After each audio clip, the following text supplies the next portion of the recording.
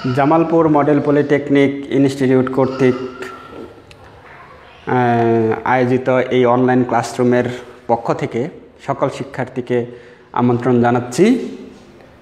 আজকে আমি electrical technology দ্বিতীয় পর্বের ইলেকট্রিক্যাল সার্কিট ওয়ান বিষয়টি পড়াবো।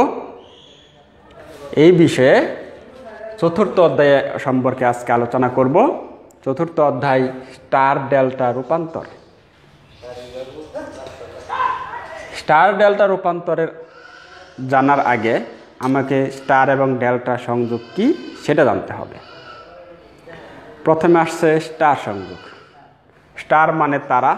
তারা যেমন এরকম আলো ছড়িয়ে থাকে, কম পরিমাণ দেখা যাচ্ছে এরকম ছড়িয়ে আসছে। ঠিক এই সংযোগটাও সেম এরকমই। যেমন তিনটি রেজিস্ট্যান্স থাকে এখানে। তিনটি রেজিস্ট্যান্সের তিনটি প্রান্ত। এক বিন্দুতে সংযোগ করা হয়, যেমন এ বি সি তিনটি রেজিস্ট্যান্স এর তিনটি প্রান্ত এক বিন্দুতে সংযোগ করে বাকি প্রান্ত, তিনটি প্রান্ত অন্য লাইনের সাথে সংযোগ করার জন্য খোলা রাখা হয় বা সংযোগ দেওয়া হয়। এরূপে যে সংযোগ দেওয়া হয়, এটি হচ্ছে স্টার সংযোগ। আরেকটা হচ্ছে ডেল্টা সংযোগ।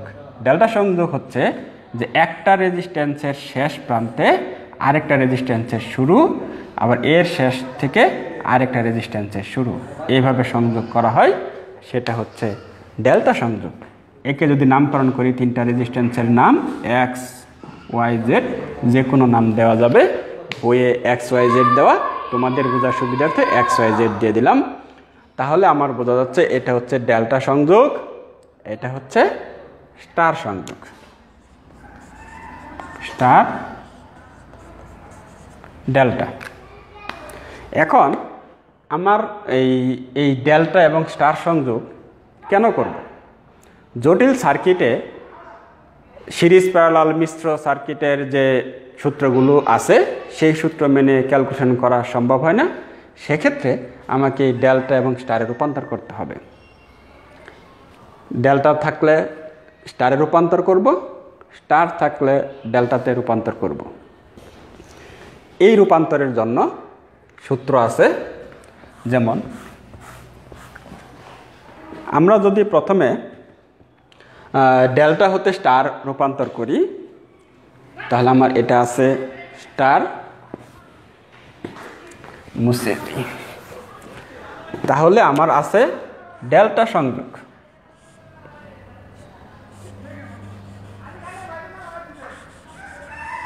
এটা হচ্ছে ডেল্টা সংযোগ এক্স ওয়াই জেড, একে স্টারে রূপান্তর করতে হলে প্রতি দুইটা রেজিস্ট্যান্সের সংযোগ বিন্দু থেকে একটা করে রেজিস্ট্যান্স বের করতে হবে।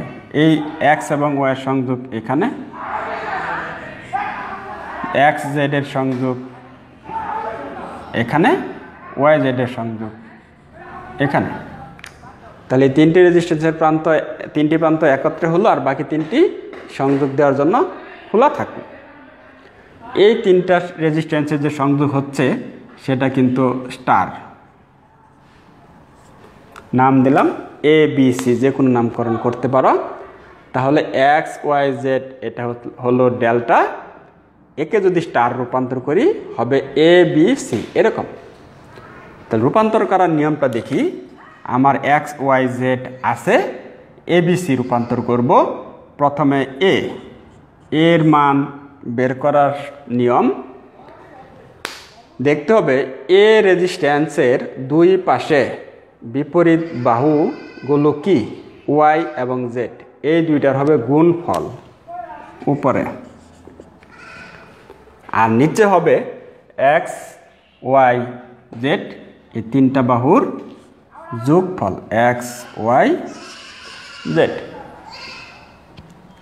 অনুরূপভাবে বি সমান হবে, বি এর দুই বাহু এক্স, জেড। এক্স জেড নিচে হবে তিন বাহুর যোগফল X plus Y plus Z. C সমান হবে সি এর বিপরীতে x Y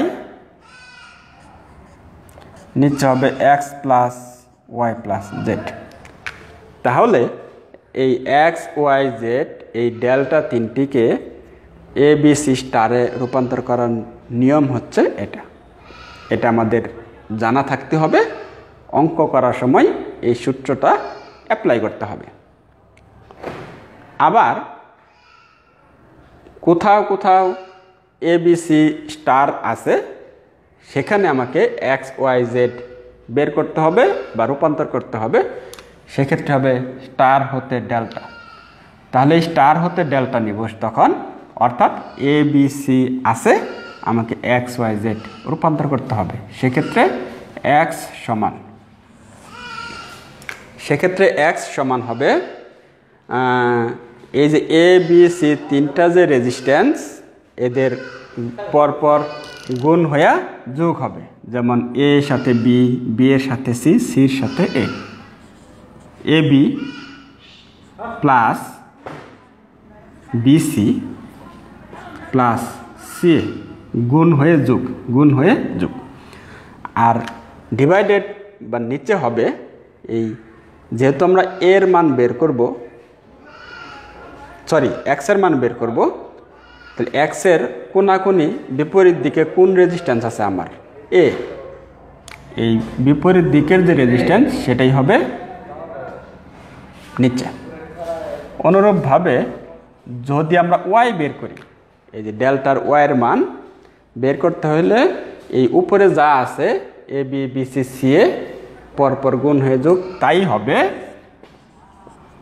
A B plus BC plus C A নিচে হবে, এই যে আমরা ওয়াইয়ের মান বের করছি বা করব, এই ওয়াইয়ের মানের ওয়াইয়ের বিপরীত দিকে আছে আমার বি তাহলে ডিভাইডেড হবে বি তাহলে দেখা যাচ্ছে আবার জেডের সময়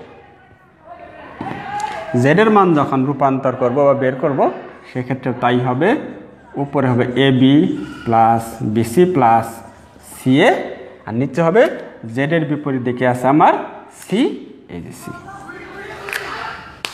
তাহলে আমার এ বি সি আছে, অর্থাৎ স্টার আছে, এখান থেকে আমি এক্স ওয়াই জেড অর্থাৎ ডেল্টাতে রূপান্তর করলাম। এই রূপান্তর করার সূত্র হচ্ছে এরকম এইভাবে যদি মান বসানো হয়, তাহলে এক্সের মান পাওয়া যাবে ওয়াইয়ের মান পাওয়া যাবে জেডের মান পাওয়া যাবে, সেটাই হবে ডেল্টা মান। এখন একটু খেয়াল করলে দেখবা যে যখন স্টার থেকে ডেল্টাতে নেব বা ডেল্টা থেকে স্টারে নেব, তখন মান কিন্তু পরিবর্তন হবে।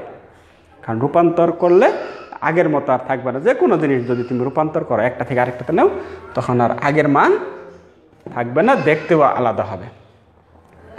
এক্ষেত্রে আমরা যদি একটি অ্যাপ্লাই করি স্টার থেকে ডেল্টাতে নেওয়ার অঙ্ক। একটু প্র্যাকটিস করে নিই আমরা। প্রশ্নটি আমি লিখি। প্রশ্নটি এখানে লিখি। দেখো, প্রশ্ন।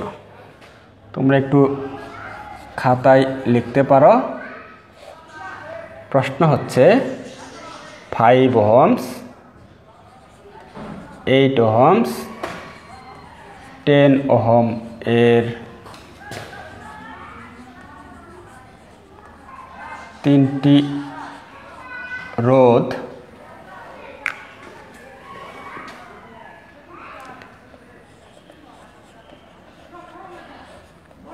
ডেল্টায় সংযুক্ত থাকলে এদের সমতুল্য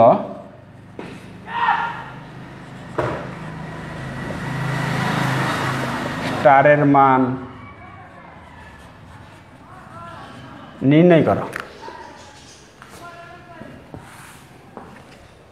তাহলে প্রশ্নটা আমরা বুঝতে পারছি।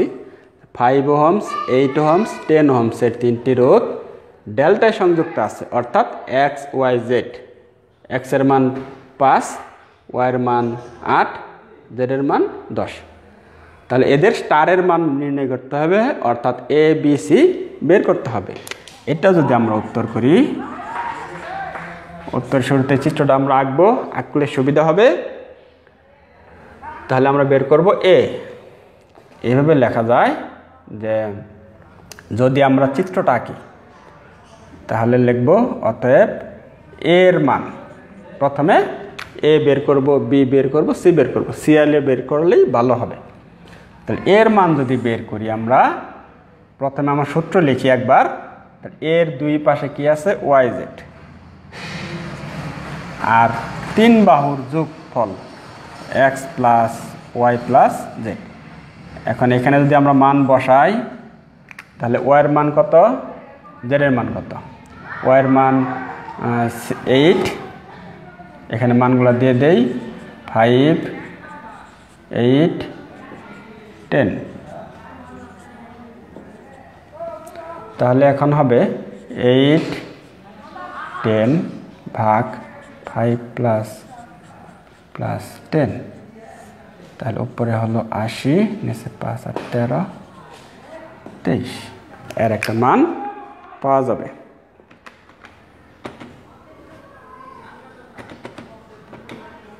থ্রি পয়েন্ট ফোর এইট এর মান পাওয়া যাবে three point four eight ohms clear ঠিক তেমনি বিয়ের সময় এখন আর সূত্র লিখি না, এই মানটা লিখি। একই সূত্র। তো বিয়ের সময় এই দুই বিপরীতের গুণফল দশ এবং পাঁচ। তাহলে এখানে লিখি, পাঁচ পূরণ দশ, নিচে তিন বাহুর যোগফল পাঁচ, আট, দশ। উপর হলো পঞ্চাশ, নিচে হলো তেইশ।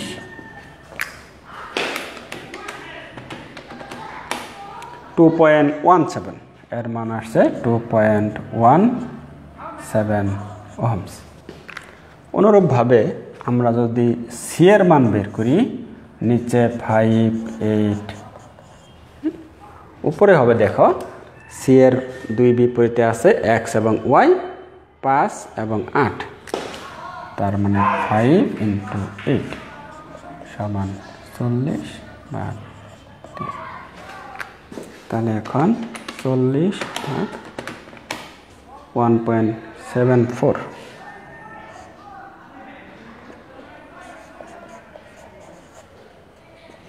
তাহলে দেখো, আমার ডেল্টা সংযোগে ছিল পাঁচ, আট, দশ, একে আমরা স্টারে রূপান্তর করেছি এ বি সি মান হচ্ছে three point four eight two point one seven one point seven four তাহলে ডেল্টা থেকে স্টার রূপান্তরের মান পেয়ে গেলাম।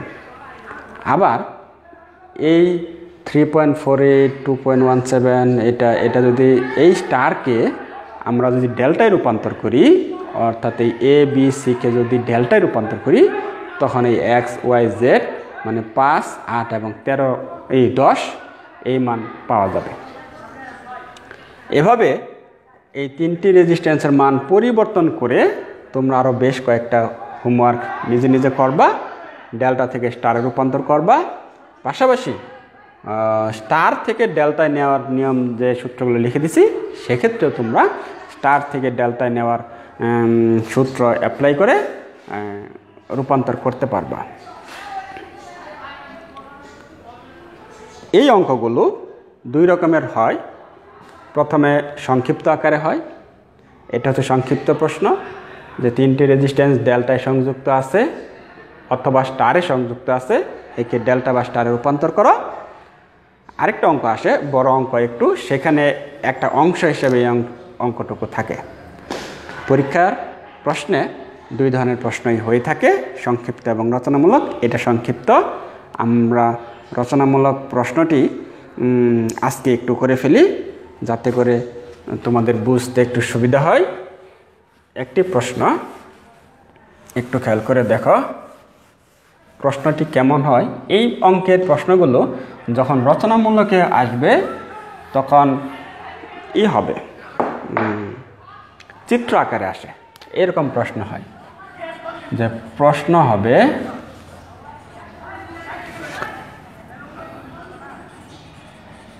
নিচের চিত্র হতে মোট রেজিস্ট্যান্স বের করা।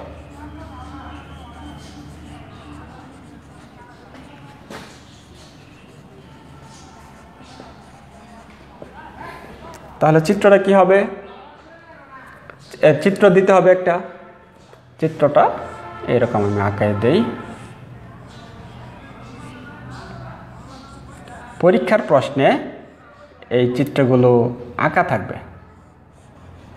চিত্র, প্রশ্ন দেখে দেখে চিত্রটা খাতায় আঁকবা। তারপর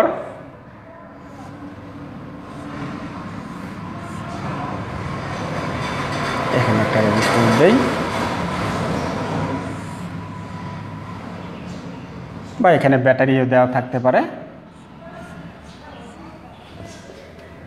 এটা হচ্ছে ভি রেজিস্ট্যান্সগুলোর মান একটু খেয়াল করে দেখো। এটা ফাইভ যে কোনো মান দেওয়া থাকতে পারে। সিক্স, এটাও সিক্স, এটা এইট এটা এইট ওহমস এটা টু ওহমস এই সার্কিটটির মোট রেজিস্ট্যান্স বা মোট কারেন্ট বের করা যায় ভি সমান যদি আমরা একশো ভোল্ট দেওয়া থাকতে পারে। এই সার্কিটটি স্টার ডেল্টা সংযোগের সূত্রের মাধ্যমে অঙ্ক করতে হবে। পরীক্ষার বড় প্রশ্নে থাকে। একটু খেয়াল করবা। উত্তরের ক্ষেত্রে প্রশ্ন দেখে দেখে আমরা চিত্রটি সুন্দর করে আগে খাতায় আঁকতে হবে। আঁকার পর দেখবা, একটু খেয়াল করো, এই ফাইভ সিক্স এইট এটা একটা ডেল্টা সংযোগ। অথবা সিক্স এইট সিক্স এটাও একটা ডেল্টা সংযোগ। তাহলে সিক্স এই পাশেও আছে, ও পাশেও আছে, দুই জায়গায় হবে না এক মান। তাহলে আমাকে হয় এই তিনটা মিলে ডেল্টা করতে হবে, আর না হয় এই তিনটা মিলে ডেল্টা করতে হবে। তাহলে এই তিনটি রেজিস্ট্যান্সকে যদি আমি ডেল্টায় রূপান্তর করি, এখানে সবচেয়ে আরও একটু ভালো হয় যে এই পয়েন্টগুলোর নাম দেওয়া A B C and D তাহলে একটু খেয়াল করে দেখো, এই এ বি সি এটা কি? ডেল্টা সংযোগ। এইভাবে আমরা উত্তর করব। প্রথমে চিত্রটা একে লিখব এ বি সি ডেল্টাকে স্টারে নিয়ে পাই। অর্থাৎ এবিসি ডেল্টা আছে। আমাকে এটা স্টারে রূপান্তর করতে হবে। তো স্টারে রূপান্তর করলে কেমন হবে, আমি আর আগেই বলেছি যে দুটো রেজিস্ট্যান্স এদের যে সংযোগ পয়েন্ট এখান থেকে একটা রেজিস্ট্যান্স বের হয়ে মাঝখানে আসবে। কিন্তু সংযোগ হবে না। এই দুইটা রেজিস্ট্যান্স এর পয়েন্ট এখানে, সংযোগ হয়ে এখানে আসবে। আর এই দুইটা রেজিস্ট্যান্সের সংযোগ এখানে, এখান থেকে একটা বের হয়ে এখানে আসবে। তাহলে যেহেতু এখানে এ বি সি নাম দেওয়া আছে, এই তিনটা রেজিস্ট্যান্সের নতুন নাম দেই এক্স ওয়াই জেড দিই এক্স ওয়াই জেড তাহলে এখন এক্স ওয়াই জেড হবে আমার স্টার এই ফাইভ সিক্স এইটের রূপান্তর করব। তাহলে অতএব আমাকে এক্সের মান বের করতে হবে। এক্সের মান কীভাবে বের করব? আগেই পড়েছি যে এক্সের দুই বিপরীতে আছে ফাইভ এবং সিক্স এই দুইটার গুণ ফাইভ ইন্টু সিক্স নিচে ফাইভ সিক্স এইট এই তিনটির যোগ ফাইভ সিক্স এইট তা উপরে ত্রিশ, পাঁচ আটশো এগারো আর আট, উনিশ। তাহলে মান কত আসে? ত্রিশ ভাগ উনিশ। One point five eight one point five eight ohms? অনুরূপভাবে ওয়াইয়ের মান যদি আমরা বের করি ওয়াই হচ্ছে এটা, এই দুই বিপরীতে আছে আমার এইট এবং সিক্স তাহলে এখানে সিক্স ইন্টু এইট নিচে ফাইভ প্লাস এটা করলে ছয় আটটা আটচল্লিশ। এর মান কত আসে? Two point five three two point five three ohms তাহলে জেডের মান কত আসবে? নিচে ফাইভ সিক্স এইট পরপর যোগ। আর উপরে হবে এই জেডের দুই বিপরীত আছে পাঁচ এবং আট। তাহলে ফাইভ ইন্টু এইট উপরে চল্লিশ, নিচে উনিশ।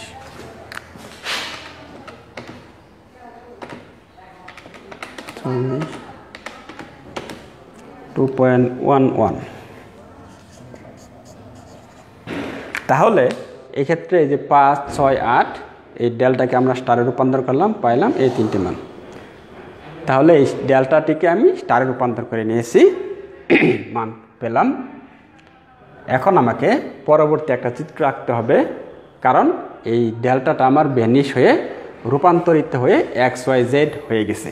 তাহলে আমার এখন থাকবে এক্স ওয়াই জেড এবং এই ফাইভ, সিক্স, এইট, এটা আমার এখন আর